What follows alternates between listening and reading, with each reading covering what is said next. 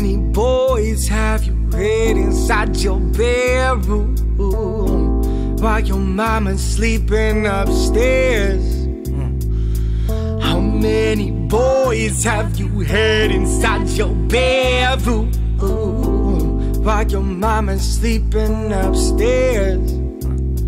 Hmm. How many boys have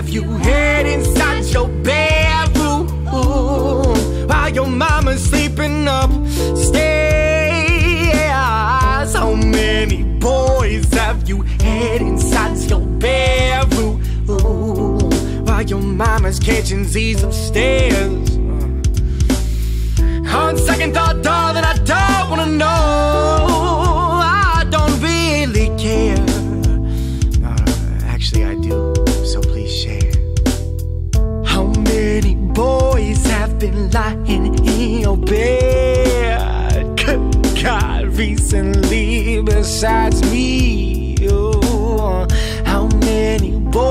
Boys have been lying in your bed? Good God, recently besides me. Oh, how many boys have been lying in your bed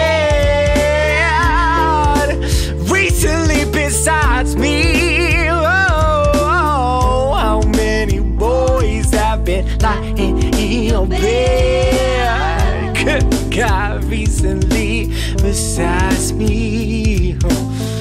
On second thought, darling, I don't wanna know. I just pray that you wash your sheets. I really do.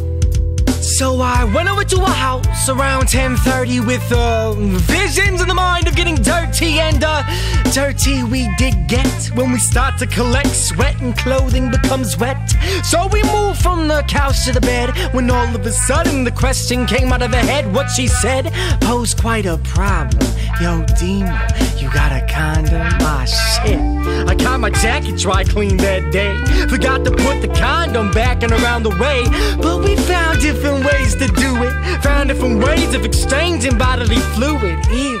But she never called me again. I thought we were cool, maybe more than friends. But it turns out that she got back with the ex boyfriend. And uh, not only that, you see, I'm, uh, I feel like a damn dummy.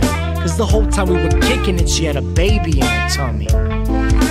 But I must confess that I, I truly wish her the best. How many boys have you had inside your bedroom while your mama's sleeping upstairs? How many boys have you had inside your bedroom while your mama's sleeping upstairs?